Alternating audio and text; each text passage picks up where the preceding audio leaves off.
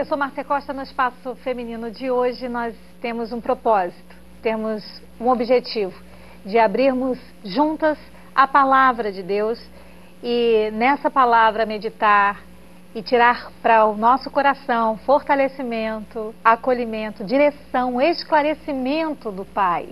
A palavra do nosso Pai, ela é fonte de vida, de esclarecimento, de direção. E hoje nesse caminho de sermos dirigidas e crescermos na fé que temos no nosso Pai, nós vamos meditar sobre uma direção de Jesus, um convite dele que devemos acatar sobre não nos entregarmos às inquietações. Não se entregue às inquietações. Essa palavra, essa, é, esse, essa direção, esse convite é um convite a você e a mim. E como eu costumo compartilhar com você daquilo que tenho me alimentado, tenho me alimentado dessa direção de Jesus. Márcia, não se entregue, não se deixe levar uh, sobre as inquietações. Não se entregue a elas, Márcia. E eu quero dividir esse pão que tenho me alimentado. E se você puder abrir a sua Bíblia nessa, nessa palavra onde a gente encontra esse comando de Jesus, essa palavra está em, em Lucas, Lucas no capítulo 12, o versículo 29. Eu trouxe aí as duas versões, a versão da revista atualizada e a versão é, que a gente é, tem, que é a palavra do Senhor para o nosso coração. E diz o seguinte: Não pergunteis, pois, que a vez de comer ou a vez de beber, e não andeis inquietos. Essa, esse andar inquieto é viver inquieto. Então, a outra versão, que é o mesmo versículo, Lucas 12, 29, numa outra versão, não andeis, pois, a indagar, a perguntar o que, que vamos comer, o que, que vamos beber. Aí Jesus nos convida, não vos entregueis às inquietações. E é exatamente nesse andar inquieto que reside uma vida que é uma vida que fica cada vez mais reduzida. Porque andar inquieto é viver, é ser inquieto. É, é muito importante que você perceba essa diferença. Ser inquieto é diferente de estar inquieto. Porque você pode assumir o seguinte entendimento, se você quiser. Lembra daquele pássaro que eu disse e eu comentei algumas vezes aqui em alguns refletindos, ele pode sobrevoar a sua cabeça. Mas quem vai permitir que ele faça um ninho na sua cabeça é você. Então, a inquietação é esse pássaro que sobrevoa, sobrevoa. É, você pode até, por conta de, e esse entendimento é super saudável, é, ficar inquieto em algum momento. E a inquietude, ela passa por você é, em algum momento na vida. Isso é natural, nós somos seres humanos, estamos aqui nessa carne e a inquietude acontece realmente. Agora, que ela se instale, que ela é, comece a tomar lugar dentro do teu coração e a te massacrar e a tornar a sua vida uma vida é, improdutiva, aí sim é uma escolha nossa não permitir que essa inquietação se instale, crie morada dentro de nós. E é muito importante que a gente perceba que é, andar inquieto é viver inquieto, é se entregar às inquietações. Aquilo que te perturba, aquilo que te aflige, aquilo que deixa você em desequilíbrio. Pode até acontecer, mas como uma exceção na nossa vida a inquietação ela não deve se tornar uma regra na nossa vida. Ela deve até acontecer, pode até acontecer, mas não deve ser uma regra na nossa vida. Se hoje você está se dando conta por essa esse convite de Jesus, essa orientação de Jesus aqui, você não se entregue às inquietações e você está se dando conta, peraí, eu realmente tenho andado inquieta eu tenho permitido, eu tenho alimentado a inquietação e tenho me agarrado a ela a ponto dela se tornar uma, uma constante na minha vida. Então hoje é dia de estar se dando conta e estar é, abandonando, invalidando todo o pensamento inquietante, toda a postura inquietante e se posicionar. Não, a paz de Cristo é a minha regra de vida. Ele é a minha paz. Eu quero com você, nessa caminhada sobre não se entregar às inquietações, entender que isso é uma escolha diária e que é um processo que você e eu devemos nos dar conta e tomar realmente as rédeas da inquietação, é, as rédeas da nossa vida contra a inquietação. Você tem uma alma que habita nesse corpo, certo? Mas o seu espírito é que é cheio do Espírito de Deus para trazer a essa alma, sede das suas emoções, toda a direção que essa alma precisa. Se essa alma, que é a sede das tuas emoções, dos teus pensamentos, fica o tempo todo acatando os estímulos externos, e esses estímulos são estímulos de, de, de perturbação, de intranquilidade, de mentira, e você fica agoniada, você realmente vai é, estar permitindo que a sua alma deixe o seu corpo prejudicado. Agora, quando você sabe que o Espírito de Deus habita, vive em você, e é Ele que traz ao seu espírito toda uma direção a essa alma e diz a essa alma: não te preocupe, confia em Deus. Você substitui todos esses pensamentos intranquilos pelos pensamentos do Pai, porque o teu espírito é um espírito cheio do espírito do próprio Deus. Então hoje é dia de viver esse posicionamento palavras de Jesus em Lucas 12 nos dá essa direção. Aí Jesus coloca para gente, nesse capítulo 12, falando sobre as preocupações da vida, ele coloca para gente algumas prioridades. Ele diz assim, no texto, ele dirigindo-se aos seus discípulos e a nós, ele acrescentou: Portanto, eu digo a vocês, não se preocupem com a sua própria vida. Olha a ordem que Jesus coloca sobre as preocupações. Quanto ao que comer, nem com seu próprio corpo, quanto ao que vestir, a vida. Olha, olha a prioridade. Primeiro vem a vida como mais importante que a comida, e o corpo mais importante que a roupa. Às vezes a gente fica inquieto porque a roupa é mais importante que o corpo. Não, se não for da moda, eu vou ficar aperreado, eu vou ficar angustiado, eu vou ficar inquieto. Não, peraí, calma. Jesus colocou uma ordem certa. O meu corpo é templo do Espírito Santo e a roupa vem em segundo plano. A vida vem em primeiro plano. E depois, o que é que essa vida vai ter é que vem depois. De quem, quem de vocês, por mais que se preocupe, pode acrescentar uma hora que seja a sua vida? Ou seja, a preocupação vai levar você aonde? Não vai levar você a lugar nenhum. Visto que vocês não podem nem sequer fazer uma coisa tão pequena, por que se preocupar com o restante? Essa palavra, eu recomendo que você passe tempo meditando. Porque muitas vezes as, as inquietações acontecem na nossa vida, nós permitimos e nos entregamos às inquietações porque não estamos atentos àquilo que Jesus nos orientou, a colocar as prioridades. Espera aí, a vida é mais importante do que essas coisas que eu estou me apegando aqui. Espera lá, o meu corpo é mais importante do que o que eu estou vestindo. Então, é, com as prioridades de Jesus, eu vou entendendo o que, que realmente é importante e o que realmente não é importante e as inquietações vão tomando as dimensões que elas realmente precisam ter. Para a gente pensar nessas inquietações e esse comando de Jesus, esse convite de Jesus de não nos entregarmos a elas, as inquietações, eu quero pensar com você num texto que aconteceu em Marcos, no capítulo 6 de Marcos.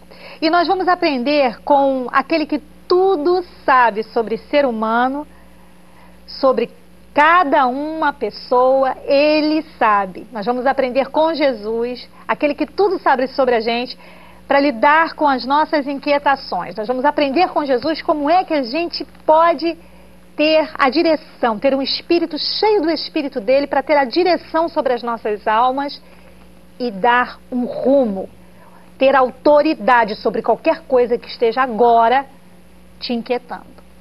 No texto de Marcos, capítulo 6, que eu te recomendo a ler, os versículos 45 a 52, Conta o momento em que Jesus ele é, interage com os discípulos numa hora muito complicada, numa tempestade.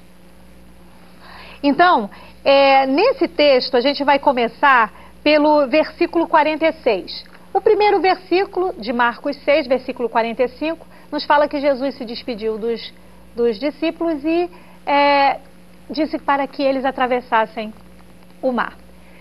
No versículo 46 de Marcos 6, Jesus, depois que despediu os discípulos, subiu ao monte para orar. Que palavra, que orientação aqui, que lição maravilhosa que nós aprendemos sobre a inquietação. A oração é um antídoto para a inquietação. Jesus está aqui com o seu exemplo, ensinando para a gente. Os discípulos foram, ele despediu os discípulos, mas ele foi orar. A oração é o remédio. A oração é a solução, é o antídoto para a inquietação, para acabar com a inquietação no seu coração. Porque no momento em que você fala com Deus e que você ora ao Senhor Jesus, e aqui no espaço feminino a gente tem buscado é, convidar você a orar a palavra. E quando a gente ora a palavra, a gente coloca a nossa oração no foco certo. A gente não fica falando, falando, falando, falando um monte de coisa que não vai levar a gente para lugar nenhum. Quando a gente ora aquilo que Jesus nos ensinou a orar, aquilo que está dentro da Sua palavra, nós colocamos a inquietação no lugar dela, fora da nossa mente, fora das nossas emoções, fora dos nossos motivos. Porque o lugar da inquietação não é morada, você não é morada da inquietação. O lugar da inquietação não é dentro de você, é fora. E a oração é esse antídoto. Jesus ele orava exatamente para com essa relação com o Pai, esse diálogo com o Pai. Ele ter do Pai todo o acolhimento que ele precisava, toda a direção que ele precisava. Ore mais. Ore andando Ore no banho. Ore enquanto você está dirigindo. Ore enquanto você está no, no transporte. Ore o tempo todo. Fale com seu pai em pensamento. Talvez você diga assim: Ah, Márcia, eu para orar eu tenho que estar tá de joelho, eu tenho que estar tá com tal roupa, eu tenho que estar tá com, em tal situação. Não. O tempo todo a sua mente é lugar fértil para a oração acontecer. Ore. Ela é um antídoto. A oração é um antídoto que vai completamente solucionar as inquietações. Continuando nessa caminhada de Marcos no capítulo 6, a gente aprende com Jesus algumas lições sobre não nos entregarmos às inquietações. Vimos aí a oração como antídoto. Agora, eu quero que você leia comigo Marcos capítulo 6, o versículo 48, para a gente continuar nesse caminho de aprendizado que a inquietação não tem autoridade sobre a sua vida. Jesus viu os discípulos remando, porque ele já tinha despedido os discípulos para irem na frente dele. E, eles, e Jesus viu os discípulos remando com dificuldade. Eu acho tão apropriado esse texto, porque mostra o quanto Jesus sabe do, do nível do problema, da, da, ele, ele consegue entender a quantidade de peso que você está carregando, a dificuldade que você está passando. E Jesus viu os discípulos remando com dificuldade, porque o vento soprava contra eles naquele mar. Alta madrugada, Jesus dirigiu-se a eles, andando sobre o mar, e já estava a ponto de passar por eles. Jesus estava aí tomando a dianteira, indo na frente deles. Essa lição, esse, esse texto, nos aponta uma lição muito maravilhosa sobre não nos entregarmos à ansiedade, à inquietação. É, você percebe que ele, Jesus, ele viu os discípulos, porque ele nos vê e ele sabe exatamente o que é preciso ser feito, o que é preciso ser é, é, é, dirigido, produzido, ah, colocado na sua frente para que você esteja em paz. Ele é aquele que sabe exatamente o que fazer para te ajudar, para te dirigir, para te acolher, e você precisa crer nisso. É, é muito importante que você creia nessa palavra. O meu Deus, ele sabe, do jeito que ele sabia que os discípulos estavam remando com dificuldade, ele também sabe o tamanho da minha dificuldade. O que, que eu preciso que aconteça? O que, que precisa ser produzido? O que precisa acontecer? O que precisa existir? Ele sabe.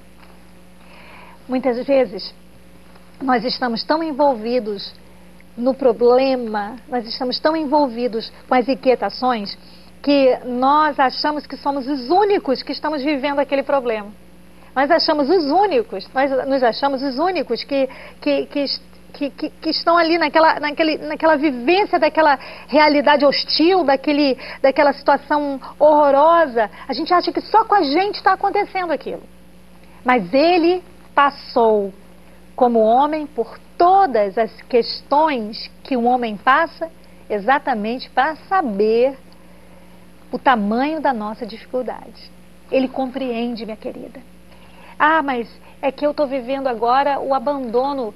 É, eu estou passando agora por um divórcio, fui abandonada, fui rejeitada. E eu estou me sentindo sozinha. Creia numa coisa: Ele sabe o que você está passando porque ele também foi rejeitado pelos homens. Ah, mas agora eu estou passando uma situação de enfermidade, de debilidade física e está doendo, está complicado. Ele sabe, porque ele levou sobre ele todas as nossas enfermidades. Ah, mas Márcia, é que eu estou sentindo uma angústia tão grande, um medo tão grande. Pois é, ele, quando estava ali na cruz, levou todas essas nossas angústias. Então ele experimentou todas as nossas questões difíceis. Então ele sabe, porque ele sempre nos vê e sabe o que fazer para te ajudar. Creia nisso. A, a, tome tome, tome é, posse disso, crendo. Posse no sentido de se apropriar, de deixar essa palavra tomar guarida dentro do teu coração, para que você é, entenda essa inquietação, ela é passageira, porque o meu Deus cuida de mim. Ela não tem autoridade de me destruir, porque o meu Deus é aquele que está cuidando de mim. Então, o lugar dessa inquietação não é no meu coração, é fora. O lugar dessa inquietação não é nos meus pensamentos, é fora. Vamos continuar então nesse caminho sobre entender, lendo Marcos capítulo 6. Agora nós vamos para os versículos 49 a 50. Entendendo aí que não devemos nos entregar às inquietações. O texto continua quando Jesus ia até os discípulos, quando eles estavam ali naquela tempestade no mar. Quando o viram, quando os discípulos viram Jesus andando sobre o mar, pensaram que fosse um fantasma. Gritaram então, pois todos o tinham visto e ficaram aterrorizados. Mas Jesus imediatamente lhes disse: Coragem, sou eu. Olha a palavra para você nessa hora, a palavra para mim nessa hora. Coragem, Jesus está dizendo: Sou eu, não tenham medo. É preciso que eu e você, é preciso, é necessário que eu e você mantenhamos a mente Precisamos manter a nossa mente nesse foco, nessa convicção do que Jesus disse. Coragem, não tenha medo, sou eu. Coloque a sua mente nessa convicção do que Jesus disse. A inquietação é, costuma confundir a gente, por isso é que a gente tem que manter a nossa mente nessa convicção do que Jesus disse. A inquietação ela fez com que os discípulos olhassem para o socorro, que era Jesus, vindo andando sobre o mar, e confundisse Jesus com fantasma. Olha só o que, que, que a inquietação faz com a gente. Você acha, você está inquieto, você é, a inquietude deixa você intranquilo, deixa você é, é, impaciente, precipitado. Aí o que, que acontece? Faz você ficar confuso te confunde. Então você é capaz de olhar para a pessoa e interpretar o que ela disse diferente, interpretar o que ela fez totalmente equivocado. Você acha que o que ela está fazendo é contra você. Você acha que o que ela disse é, é, é para te depreciar e não para te fortalecer. A inquietude, a inquietação, ela é um estado emocional que deixa você completamente em confusão. Você interpreta o que as pessoas disseram errado, você olha para as pessoas e, e, e, constata: não, essa pessoa é contra mim, eu vi, ela fez cara feia, e nem era nada disso. Por isso é que aquela inquietação toda fez com que os discípulos confundissem Jesus, a solução, com o fantasma. Será que por conta da inquietação você também hoje não está se precipitando? Será que hoje você não está também confundindo a solução que é Jesus com um problema por conta de estar tão inquieto? Ah, eu eu estou inquieto demais, não consigo ler a Bíblia. Não, eu não consigo, não consigo, não consigo ler a Bíblia. Peraí, a inquietação está me privando de ler a palavra? Não, não, não, não, não, não, negativo. A inquietação não tem autoridade de me privar. Eu não posso me privar de ir à solução e de recorrer e de ter a solução porque a inquietação está me impedindo, me brecando. Não, não. É uma decisão sua. A inquietação não pode te privar de se aproximar da palavra. A inquietação não pode te privar de se aproximar da oração, de orar. Você é que tem que fazer a escolha. Eu estou inquieto, agora que eu tenho que estar orando mesmo. Eu estou inquieta, agora que eu tenho que ir à palavra e estar voltando ao equilíbrio, porque essas, é, essas, essas palavras do meu pai é que vão trazer a solução para mim. Eu não posso confundir agora, na hora da inquietação, Jesus com fantasma. Não. Você tem a autoridade do Senhor para ver corretamente.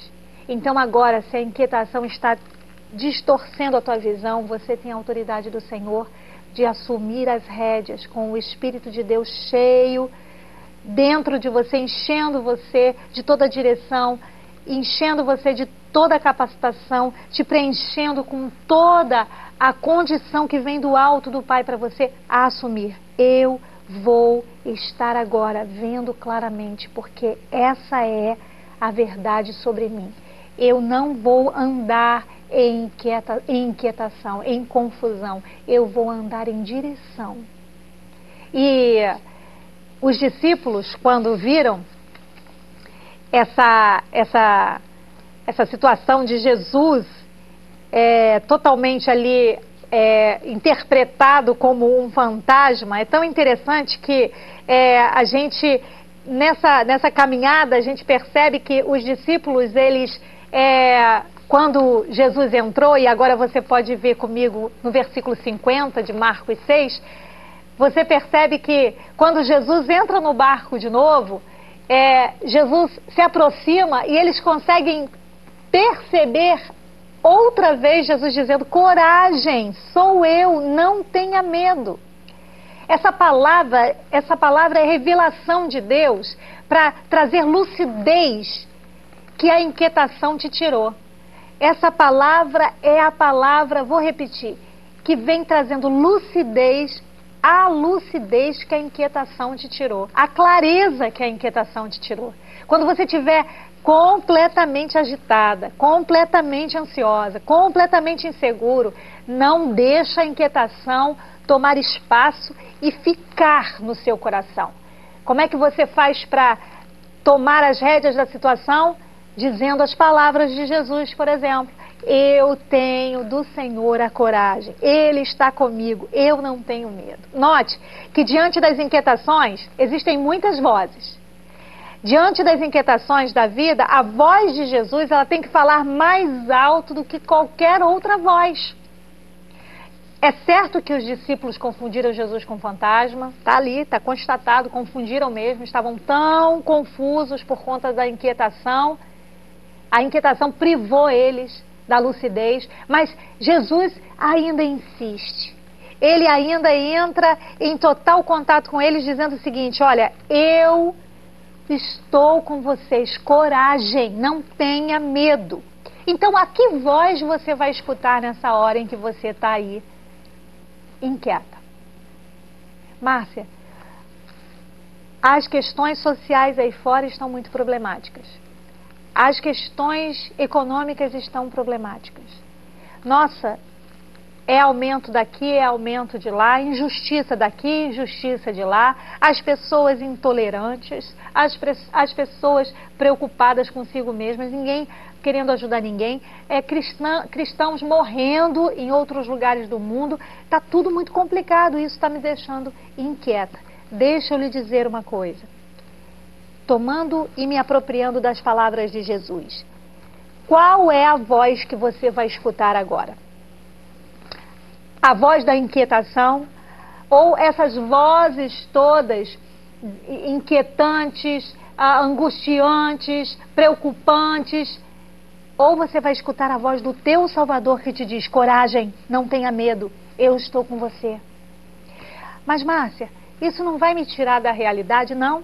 Pelo contrário, você vai estar diante da realidade. Os discípulos continuaram ali na tempestade, mas eles constataram: Jesus está aqui. O que, que você vai fazer? Você vai ficar é, abduzida da realidade? Não é isso, não. Você vai estar dentro da realidade, inserida na realidade, mas protegida por uma voz, por uma palavra, que é a palavra do teu Deus, que no meio do caos te dá a direção para você estar em equilíbrio e não se perder com toda a inquietação que está ao teu redor. Você compreende que a voz de Jesus tem que falar mais alto nessa hora? Isso faz sentido para você? Essa palavra é a palavra que você está recebendo? Vamos continuar no texto de Marcos? No capítulo, agora que nós lemos, capítulo 6, versículos 51 a 52, Jesus sobe no barco junto com eles. E aí, o vento se acalma. Porque Jesus está com eles. Jesus está em você. Ele vive em você.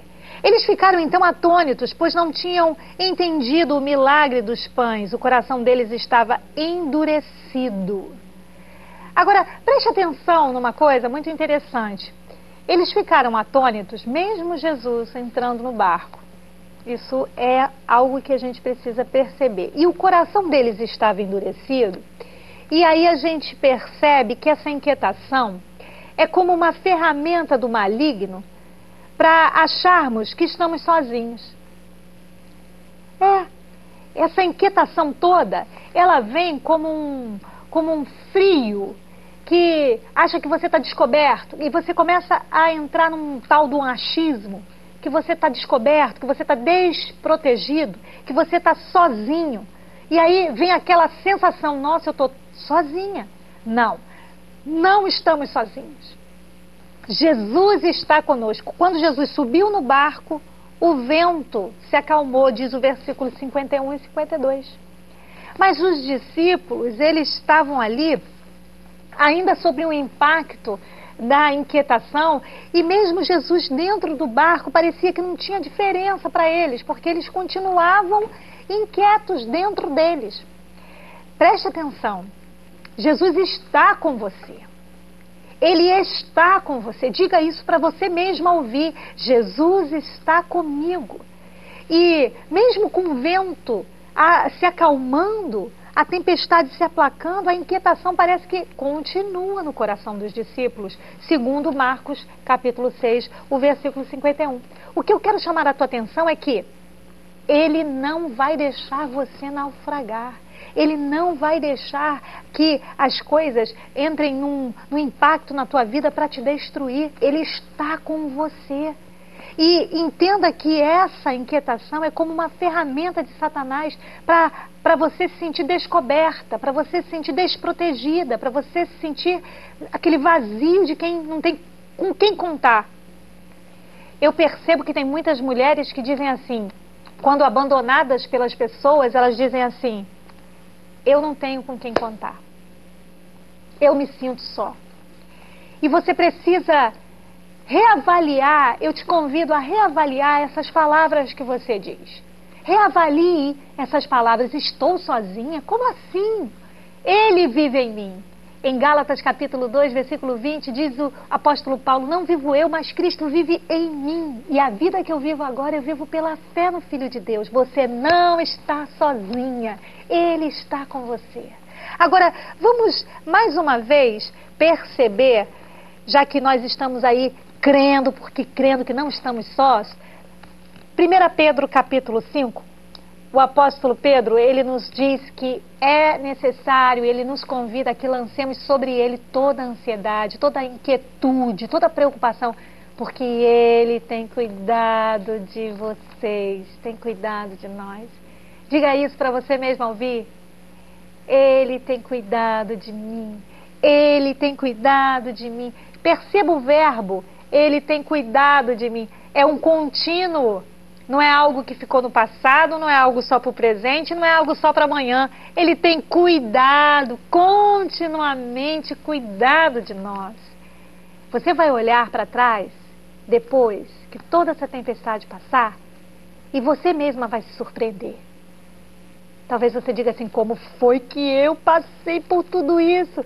Porque Ele está cuidando de mim, Ele está cuidando de você. Agora, eu quero notar com você a última parte do versículo 52 de Marcos 6, para a gente não esquecer de uma coisa muito importante aí nesse texto. E se você puder abrir de novo ali a sua Bíblia, você vai ver que é importante não esquecer o que Jesus fez e manter na sua memória viva algo que não pode ser esquecido. Mantenha na memória Toda vez que você quiser, a, a inquietude quiser aplacar sua memória sobre o que Deus fez, sobre o que Ele é, sobre o que Ele vai fazer, mantenha a sua memória viva. Olha o que aconteceu em Marcos capítulo 2, o versículo 51. Eles ficaram atônitos, não ficaram depois que Jesus entrou no barco, mesmo com o vento acalmado, pois não tinham entendido o milagre dos pães. O coração deles estava endurecido. No capítulo 6, se você ler o capítulo 6 todo, a partir do versículo 30 de Marcos 6, tem a primeira multiplicação dos pães. Jesus prega, a multidão ouve, e aí os discípulos dizem assim: Olha, não é melhor mandar eles embora? Jesus diz assim: Não, eles precisam comer. Mandem vocês que eles se sentem. Aí organizaram todos em 100 grupos de 100, grupos de 50. E Jesus disse para eles: Vocês é que vão dar o que eles precisam para comer. Mas como? O que, que vocês têm? Só temos cinco pães e dois peixinhos. Pois é, com o que vocês têm é com que eu vou trabalhar. Ah, mas isso eu já ouvi, Márcia. Pois é, mas precisa ouvir de novo. É com o que você tem que o Senhor trabalha.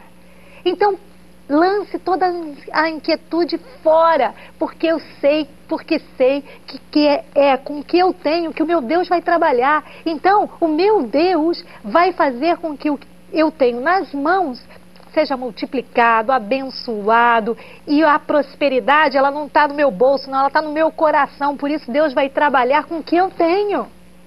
Guarda isso, não esquece disso. Para você entender o que os discípulos viveram naquele dia. Olha, Jesus mandou que eles sentassem, fizeram os grupos organizados de 150, e a Bíblia diz que com cinco pães e dois peixinhos, mais de cinco mil foram alimentados. E não apenas isso, ainda sobrou comida, mais de 12 cestos cheios. Aí é que eu quero chamar a tua atenção, para que você perceba que a sua memória precisa estar o tempo todo ativada por essas lembranças do que Deus fez. Eles tinham esquecido, entraram no barco e por conta da tempestade esqueceram o grande milagre que havia acontecido alguns minutos atrás. Como anda a sua memória focada na palavra a respeito do que Deus já fez na sua vida? Seria a inquietação agora maior do que tudo que Deus já fez? Do que tudo que Deus já está fazendo? Às vezes a gente precisa trazer à memória, como diz o profeta Jeremias, aquilo que nos dá esperança para que a inquietação saia e ela não reine, ela não tenha direito nenhum sobre nós. Lembre-se, o meu Deus já fez e ele está fazendo e ele vai continuar fazendo, porque Paulo diz em Filipenses capítulo 1, versículo 6, eu estou convicto de que aquele que começou a boa obra, ele vai concluí-la. Não deixe a inquietação abalar a sua fé. Não deixa não. Não deixa não. Eu creio porque creio que o meu Salvador, que o meu Redentor vive e Ele tem cuidado de mim. É Ele que é especialista em você. Ou seja, sabe tudo sobre você. Às vezes o que você não sabe sobre você, Ele já sabe há muito tempo. Eu tenho dito aqui no, no, nessa reflexão muitas vezes para você o seguinte, que antes de você entrar nesse problema, Ele já sabia como esse problema terminaria. E desse filme, ele já sabe o final. Ele conhece tudo. Tudo. Ele sabe de tudo. Então ele já sabe como vai ser o final dessa trajetória. E vai ser bênção. E vai ser o que ele planejou para você. E em todo tempo que tiver difícil, é ele que vai te sustentar. Ele tem cuidado de você. Ele é especialista em você. Você é propriedade exclusiva de Jesus. Pedro falou isso. Nós somos propriedade exclusiva do Senhor. E eu quero, para finalizar, orar com você o texto que está aí no nosso vídeo. Senhor, nós cremos e nós estamos lançando sobre o Senhor toda a ansiedade. A ansiedade não tem que ficar nas nossas mãos, ela tem que estar lançada em Ti. Para o Senhor conhecer, saber e cuidar. Nós cremos, Pai, que Tu tens cuidado de nós e a ansiedade, o lugar dela não é prejudicando as nossas emoções. O lugar da ansiedade, Deus, nós temos aprendido, não é dificultando a nossa visão. O lugar da ansiedade é fora da gente, é fora das nossas emoções, é fora do nosso coração. Nós estamos lançando, aprendendo a lançar e vamos continuar lançando, porque cremos que Tu está cuidando de tudo nesse momento difícil do divórcio, nesse momento difícil de necessidade, nesse momento difícil de saúde. Tu estás cuidando, tu estás cuidando desse corpo físico, tu estás cuidando para que portas sejam abertas, tu estás cuidando para que o acolhimento aconteça, tu está cuidando, Pai, tu está cuidando, Pai. E nós cremos no teu cuidado, no teu amor. Graças te damos, no nome de Jesus.